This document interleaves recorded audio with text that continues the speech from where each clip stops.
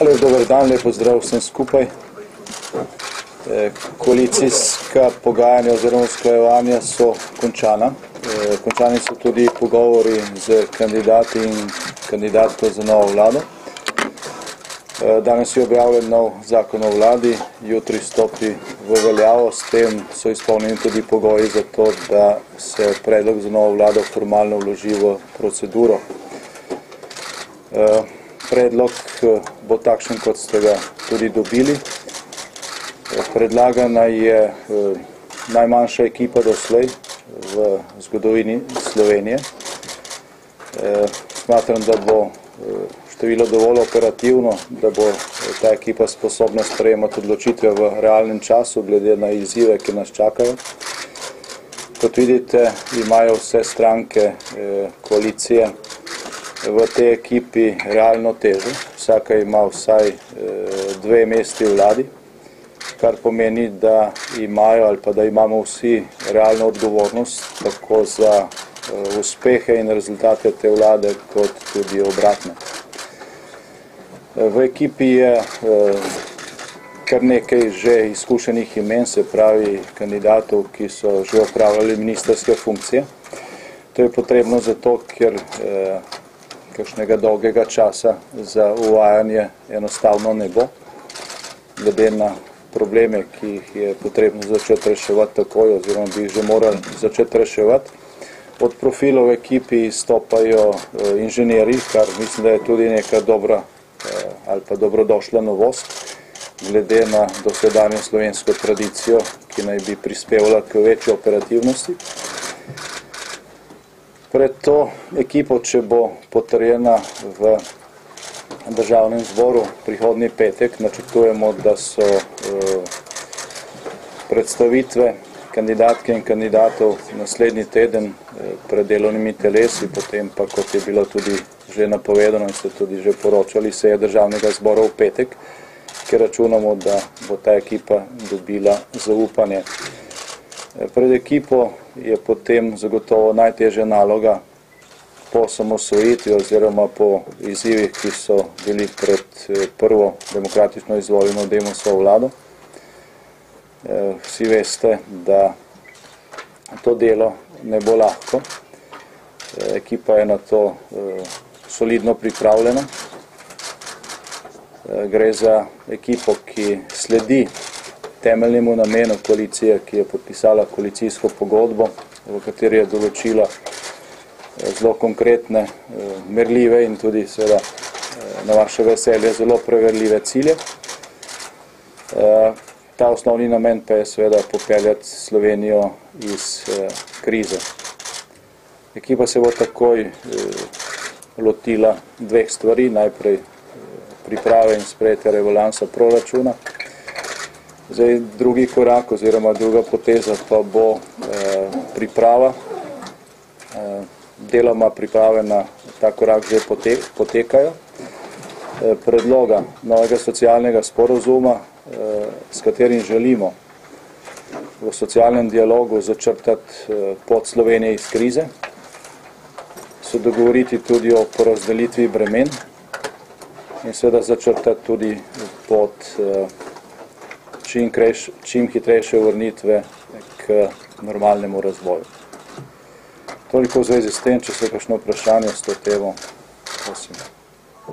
Dejansko, če lahko na kratko, včeraj smo nekoliko presluškovali z državnim zborom in smo slišali povzdignjen glasov gospoda Javca, kje so bili tisti najtežji oziroma najdaljši uh, stvari, ki so vas zadržale, pa uh, če je bilo kakšen komisij tiče.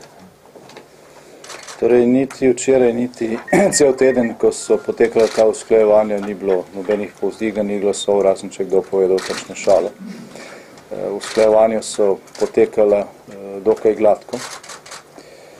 Eh, Že izhodišče je bilo takšno, da pač vse koalicijske stranke prevzemajo v tej ekipi oziroma v tej eh, vladi v predloge ekipe zaenkrat še realno težo. Eh, Vsi so to jemali ne kot neko nagrado, ampak kot veliko odgovornost in v skladu s tem je bilo tudi obnašanje. Ocenili ste, da je to um, solidna ekipa. Pričakoval bi, da boste to opredelili kot odlična ekipa. Zakaj je takšna ocena solidna ekipa? Torej, takšne ocene ste poslušali pred tremi leti, ko so pospremili neko drugo ekipo, ki je potem pravzaprav od dneva, ko je nastala, začela razpadati. Jaz ne uporabljam takšnih eh, superlativov, kot veste, je to eh, ekipa, ki je sestavljena na podlagi koalicijskih usklajevanj, se pravi kompromisov in seveda najboljša možna v realnih razmerah. Ne. Vsi, vsak med nami, vsi med nami imamo svoje idealne predstave o, o marsičem, vemo pa, da lahko uresničimo tisto, kar je pač realno. Drži tudi to enega od koalicijskih partnerjev, da ne bi bil podpredsednik oziroma vsi predsedniki strank, hkrati tudi podpredsedniki vlade. Ta možnost obstaja, kot veste, je zakon o vladi, ki je danes objavljen in je bil jutri stopil v veljavo predvideva. Je pa to vprašanje naslednjih korakov in naslednjih postopkov. Boste v kulturnem oziroma tožilskem ministrstvu še kaj razmišljali, pričakujete ustavno presojo? Ustavne presoje zakona o vladi ne pričakujem, če bi se zgodilo, bi bilo to preprosto rečeno nagajanje. Kot sami veste, v trenutku, ko je bila usklajena in podpisana koalicijska pogodba in kasneje tudi sprejet zakon o vladi, ki se še ni uveljavil, spremembe niso bile možne. Mnogi so nas pozivali, naj naredimo neke spremembe, kot veste, zakona, ki še ni stopil veljavo, tudi danes še ni stopil veljavo, ni možno spreminjati. Tudi ni možno predlagati vlade, ki bi sledila nekim prihodnim spremembam, torej smo v situaciji, kjer delamo tisto, kar je pač formalno in tudi realno možno. Kot veste, je veliko krat tudi doslej teko mandata prišlo do razno raznih sprememb, tako zakona o vladi kot zakona o državni upravi. Tudi tekom tega mandata so te spremembe možne, niso pa možne zdaj na začetku, ker časa enostavno ni. Mislim, da Slovenija si ne more privoščiti tega luksuza, da zdaj zaradi tega, ker so različna mnenja o ustroju posamičnih resorjev, vedno so bila različna mnenja, moram reči, in so tudi v drugih državah. Čakamo še teden ali dva, spremenimo zakon, čakamo na veto, pa mora biti ne druge roke. In v tem času gledamo, kako se problemi, ki jih nihče ne rešuje, kopičijo. In teh problemov če dalje več. Vendar li obstaja možnost, da v koaliciji sami zakonom o državni upravi, torej tožilstvo, vrnete pod pravosodje, nekako, tako smo razumeli? Samo s tem zakonom to ni možno, morali bi spreminjati tudi zakon o vladi. Torej, zagotovo se naslednji teden s tem ne bomo ukvarjali, je pa koalicija odprta za strokovne argumente, razlago, pač prihajajo. Prihaja zdaj, ko so stvari popolnoma jasne, do številnih predlogov, ki jih prej ni bilo, ne? Ko se je o tem govorilo samo kot o možnosti. Vse te argumente, govorimo o strokovnih argumentih, politične razlike bodo vedno obstajale in obstale. Se to bomo proučili in ravnali tako, kot bo najbolje za vse. Trajali ste pri tem, da so predsedniki strank v vladi. A ni to velik udarec za strokovnosti vlade? Konkretno tudi s temi imeni, ki so zdaj vladi. Če bi ustrajal, potem bi se to zgodilo. Ne? Kot No, vidite, se ni. Naprej. Govorili ste o velikih primankljajih, ki jih je deležna Slovenija vsak dan. Včeraj sem imel eno zanimivo vprašanje, kam pa boste zdaj ta denar vlagali? Imamo vlado. Misle, misle tega iz primankljajev, to, tega ni možno vlagati. Se pravi, tega denarja ne bo. Ja, tudi, seveda, denarja iz primankljajev ni, ne. Kvečem je potrebno nekje druge zagotoviti sredstva za to, da pokrijete primankljaje, ker jih je pač potrebno pokriti. Tudi beseda varčevanje se v teh eh, sodobnih kontekstih eh, uporablja napačno, ne, ker če nečesa nimaš, to ne moreš privarčevati. Gre enostavno za to, da lahko porabimo tisto, kar ustvarimo.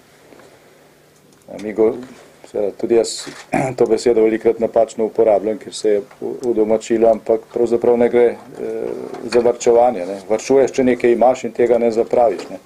Mi pa govorimo o tem, da se ne bomo več zadolževali in to, kar je bistvena novost eh, stanje, v katerega eh, stopa ta ekipa oziroma ki ga je prevzela ta eki, ekipa v primerjavi s tem, kar je bilo pravzaprav, razen če izamemo tisto prvo vlado, Izziv za vse druge vlade doslej v slovenski zgodovini je to, da zadolževanje zdaj praktično ni več, ne, ni mogoče, glede na eh, situacijo, v kateri smo. Torej zdaj ne gre več za politično odločitev, ali bo primankljaj takšen ali bo seveda drugačen. Gre enostavno za to, da prostovoljno naredimo tisto brez, brez velike škode, v kar bi nas situacija sama prisilila konec leta, ko bi tam dva meseca pred zaključkom proračunskega obdobja enostavno zmanjkalo denarja za plače in za delovanje vitalnih podsistemov. Če se sami organiziramo pravočasno, potem te nevarnosti ne bo, ker so še vedno neke rezerve, ker je možno Eh, dejansko porabiti manj za to, da vitalni sistemi niso ogroženi. Je pa veliko vprašanje, če bo čez eh, šest ali pa osem mesecev situacija še takšna. Pred koalicijo bo kmalo prvi preizkus že marca, očitno danes so bili vloženi podpisi pač civilne iniciative glede družinskega referenduma, pa me zanima, vemo, da državljanska lista podpira družinski zakonik, nekateri koalicijski partneri ne, kakšno bo stališče vlade in kako se bo v bistvu vključil v kampanjo tudi SDS. Torej, vlada se v to kampanjo ne bo vključila, ni, eh, ta vlada ni niti predlagatelj, eh, mislim, vlada, če bo potrjena, govorimo o hipotetični možnosti, v tem trenutku vlade pa če ni. Eh, če bo, ta vlada ni niti predlagateljica tega zakona, ki se izpodbija na referendumu, niti ni predlagateljica referenduma, se pravi, se bo vlada v sami kampanji neutralna, stranke imajo svoje stališča, koalicijska pogodba eh, o tej situaciji govori v tistem členu, ker pravi, da stvari, ki niso določene v koalicijski pogodbi, eh, koalicijske partnerje ne vežejo, bo pač vsaka stranka zastopala eh, v kampanji, koliko se bo vključevala stališča, ki so javnosti znana. Tukaj ne, nobenih presenečenj. Včeraj je gospod Pahod po svoje vlade podaril, da je treba napotkom sveta Evropske unije slediti, ker so pač taki časi upozoril sem ga, da v bistvu ni več razlike med Grčijo in Slovenijo. Boste vi nadaljevali s to poslušnostjo v Evropski uniji? No, jaz mislim, da tukaj ne gre za poslušnost, ampak gre za uh, vprašanje uh, sledenja razumu. Ne? Kajti to, kar je bil dogovor oziroma kar je bila neka faza dogovora na zadnjem neformalnem srečanju članov Evropskega sveta, je to, kar je enostavno treba narediti. Ne? brez tega, da se države članice eh, iste, eh, istega monetarnega območja zavežejo, da bodo spoštovala pravila igre in da bo vsaka porabila toliko, kot ustvari, oziroma da bo zapravljala tako, da bo lahko plačevala svoje račune in da drugim ne bo treba plačevati tvojih računov, je to edina pot k temu, da evro ohranimo. Brez tega, brez, Ne, brez tega eh, bo eh, cena visoka. Ne, bo cena visoka, oziroma bi bila cena visoka in tukaj ne gre za to, da bi kakšna država klonila pred kakšnimi pritiski, gre enostavno za to, da se išče neka racionalna rešitev. Jaz to odločitev podpiram, moram reči, da sem tudi že pred meseci, ko se je, so se prvi osnutki delali, sodeloval pri eh, njenih zametkih, in uh, tukaj mora Slovenija seveda izpolniti. Zaradi sebe, ne zaradi eh, Evropske unije, uh, to zavezo, da sami sebe omejimo v zadolževanju oziroma po domače rečeno na poti k uh, grškemu scenariju.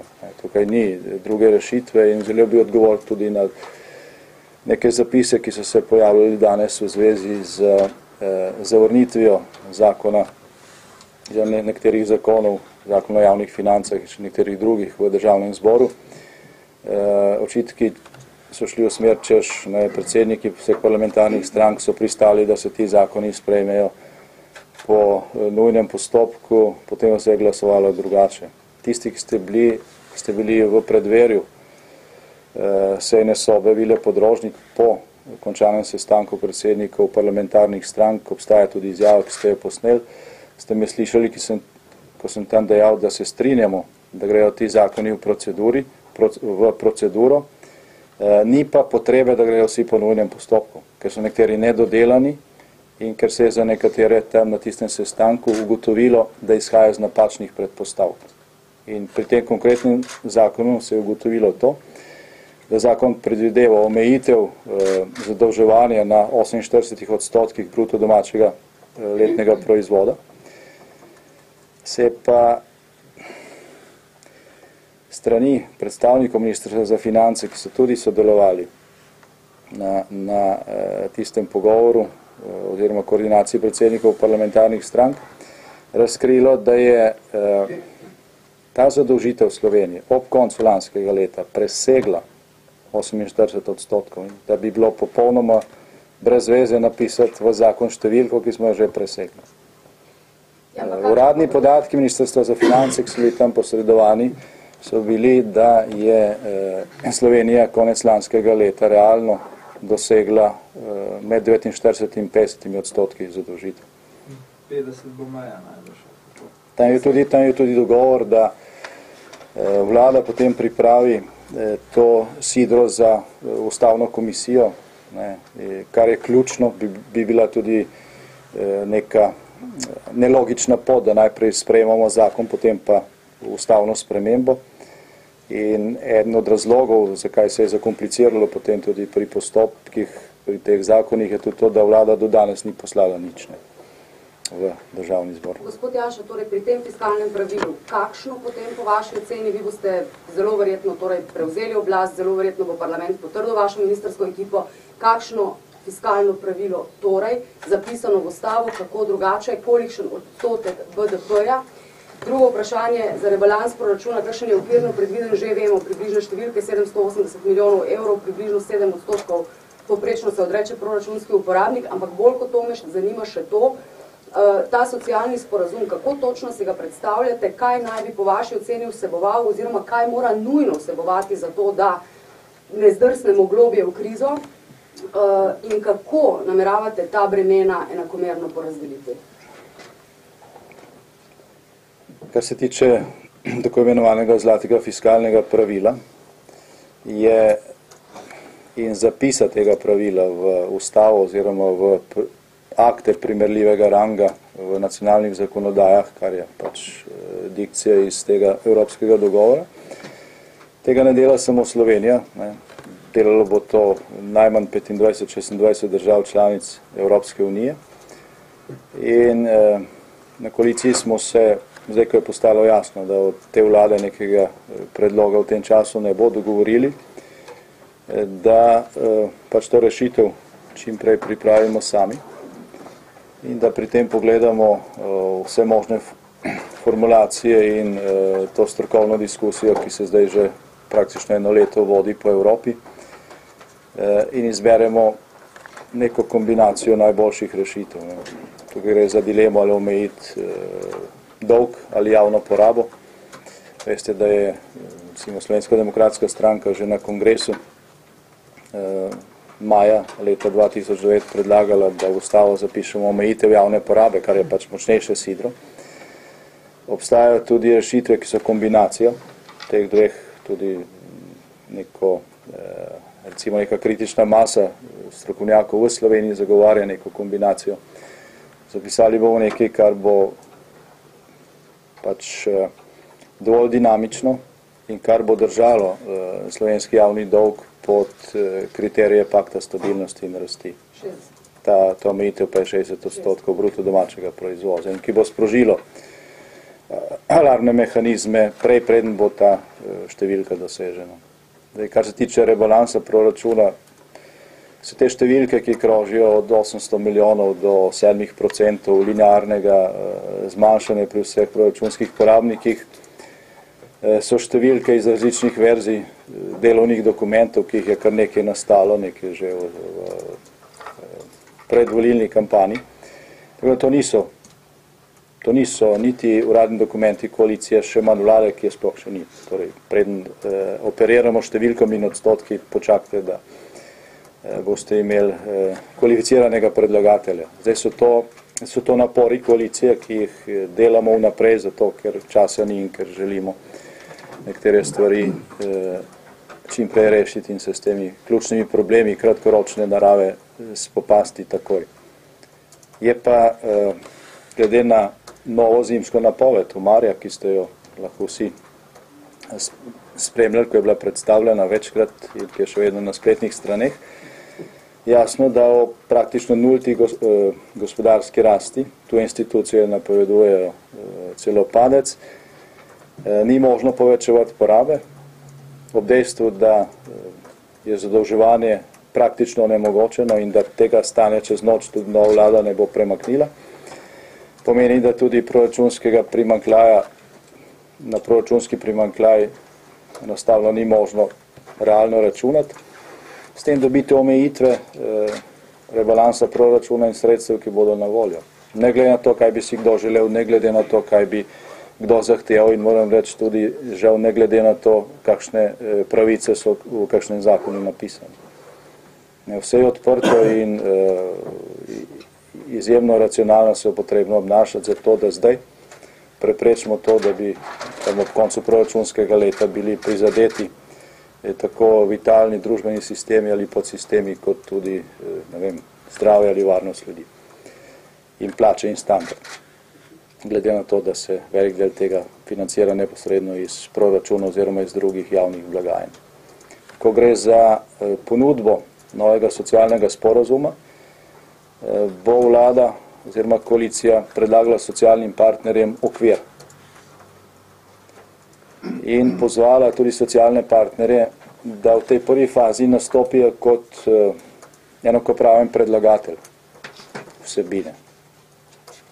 Uh, zdaj ta pristop k socialnemu dialogu bomo eh, nekoliko obrnili ali pa posodobili, ker doslej je bilo tako, da je pač vlada nekaj predlagala, sedli so se na ekonomsko-socialnem svetu, partnerji so to kritizirali ali pa dajali svoje pripombe in amadmaje in se je potekalo okrog eh, nekega dokumenta, ki je bil v osnovi pripravljen enostransko. Mi želimo priti do vsaj eh, teh ključnih makrousmeritev eh, oboje stransko. Se pravi, da bodo vsi lahko prispevali svoje predloge.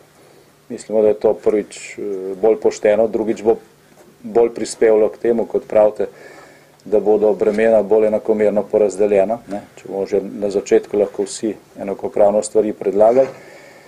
In tretjič, nihče potem ne bo imel slabega občutka, da je pristal na nekaj, kar je ponudila dru, druga stran in je bilo dano na mizo pod uh, kriterijem ali pa pod pogojem zemlja ali pust. To je, to je naš namen, seveda pa je uh, izhod uh, in rezultat takšnega pristopa odvisen od vseh strani. Koalicijski sporazum so tako rekoč eh, sindikati milo rečeno strgali. Socialni sporazum, koliko bo odstopal od koalicijske pogodbe, da bo lahko ustrezni? Ja, no, ravno ta izhodišča, o katerih sem zdaj govoril, imajo nastavek v koalicijski pogodbi. Ne. To, kar sem zdaj govoril, piše v koalicijski pogodbi, da uh, bomo to ponudili socialnim partnerjem, tako sindikatom kot predstavnikom delodajalcev.